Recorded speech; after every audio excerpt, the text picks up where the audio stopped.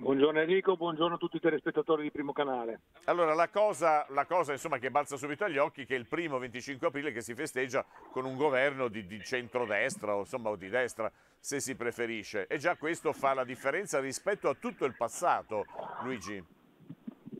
Ma guarda, io francamente mm, no, ritengo di no, perché questo tipo di polemiche, ora magari non così forte, non così virulente, ma ci sono state anche in passato. Cioè, ogni volta che si è trattato di festeggiare il 25 aprile, che ci fosse al governo il centrodestra o che ci fosse al governo il centrosinistra, eh, si è sempre trovato il modo di polemizzare su questa festa.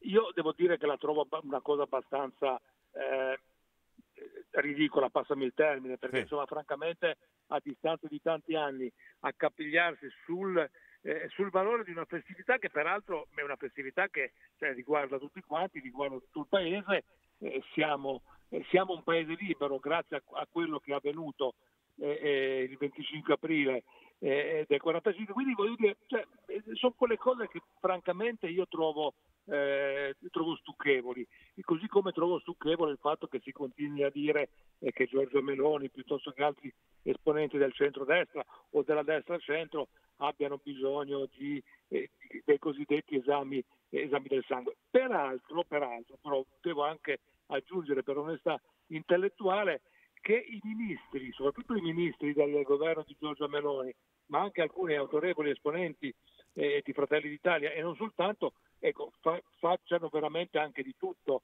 a parole per in qualche modo alimentare questo tipo di, di, polemica, ma non credo che il Paese nel suo complesso vada dietro a queste, a queste cose, francamente. Senti, ma non è stato ormai inflazionato, eh, e mi dispiace, cioè la parola fascista sia come termine che come aggettivo, perché viene spesso usato per un mucchio di cose. Eh, non abbiamo esagerato, abusato di questa parola?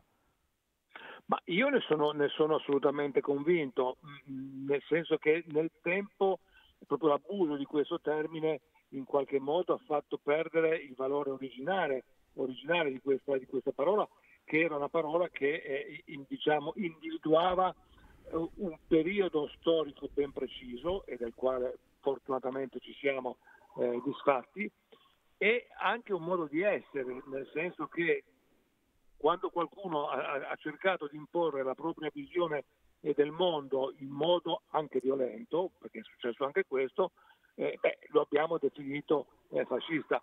Oggi fascista invece è tutto quanto, mm, sembra quasi come quando si grida al lupo al lupo, poi quando arriva il lupo nessuno ci crede, eppure il lupo c'è sul serio. Ecco. Quindi sì, devo dire che è una parola molto inflazionata e che in qualche modo rischia di perdere il suo valore originale domanda banale, forse retorica, ma in effetti mh, mm, non, la, la, credo l'italiano non credo che abbia paura del fascismo, cioè abbiamo paura di una cosa che, che non c'è, è morta e sepolta, o no?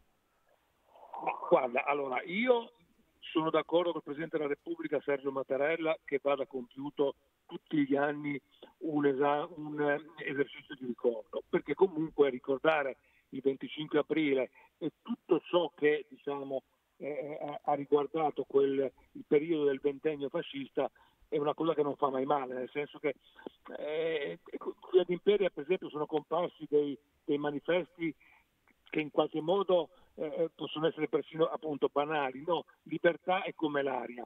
Eh, sì, quando però tu ti ritrovi senza aria, che fatichi a respirare, ti accorgi che cosa vuol dire. Che l'aria è una cosa che tutti diamo per scontata perché senza quella non possiamo stare al mondo. Ecco, diciamo che la libertà è la stessa cosa. Quindi, diciamo, eh, eh, averne cura come di un bene prezioso, io sono assolutamente d'accordo. Dopodiché, secondo me, sarebbe giusto consegnare questo periodo. Quindi eh, va benissimo eh, ogni anno ricordare questi, quei tragici eventi e va benissimo soprattutto ricordare il, il, il, valore e l'eroismo di tante persone che hanno consentito di restituire la libertà al popolo italiano e all'Italia. Eh, dopodiché però questa, questa eh, questo periodo va consegnato ai libri di storia, cioè, dire, la politica dovrebbe avere argomenti ben più seri sui, cali, sui quali eh, accapigliarsi, non certamente se il, certo. eh, il centro-destra fa qualcosa di più o di meno o se il centro-sinistra fa qualcosa di più o di meno. Insomma, francamente, ripeto, è una cosa che soprattutto per quanto riguarda i giovani che sono il nostro futuro, credo che ne, nessuno di loro eh, possa in qualche modo condividere queste polemiche, le polemiche di questi giorni. Cioè, Ma certo. Eh, so, so, sono una cosa risibile proprio. Certo, sono passati 78 anni dalla fine della guerra, riusciremo mai 78 anni? Poi non solo la guerra nostra, la guerra che ha coinvolto l'Europa, ma noi siamo ancora così. Ma riusciremo un giorno, Luigi, un giorno, non, non penso sarà l'anno prossimo, a festeggiarlo, non dico senza polemiche che ci saranno sempre, ma festeggiarlo come per esempio eh, gli americani festeggiano il 4 luglio, cioè riusciremo una volta con le bandierine italiane a sventolarle tutte insieme? Beh, allora, io eh, diciamo, sono ottimista per natura, quindi dico sì, prima o poi ce la faremo. E, dopodiché però è anche necessario, eh, e lo dico assumendomi la responsabilità di quello che sto per dire, che personaggi come Ignazio La Russa mettano la terza a posto, diciamo così. Cioè, perché il Presidente del Senato, ma perché diavolo deve scegliere proprio il 25 aprile per andare a commemorare Jan Palak? Siamo stati tutti quanti eh, Jan Palak nel momento in cui si diede fuoco contro il regime comunista, ma se tu lo fai il 25 aprile, cioè prima vai all'altare della patria a deporre la corona insieme al Presidente della Repubblica e insieme al Primo Ministro. E poi vai, mi pare, in Polonia a eh, eh, commemorare questa, eh, questa figura contro il comunismo.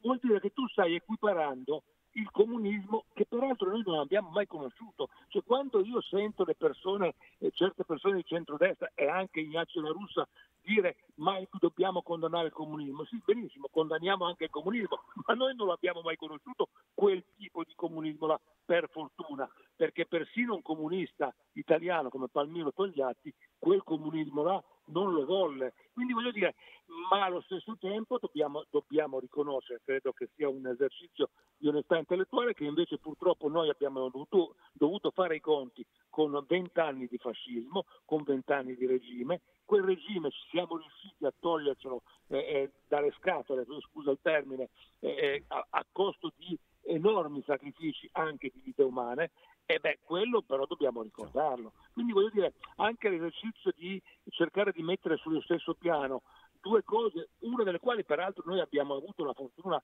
di non, di non patirla, beh, non mi pare una bella cosa francamente. E che lo faccia il Presidente del Senato sulla seconda carica dello Stato, francamente mi pare inopportuno.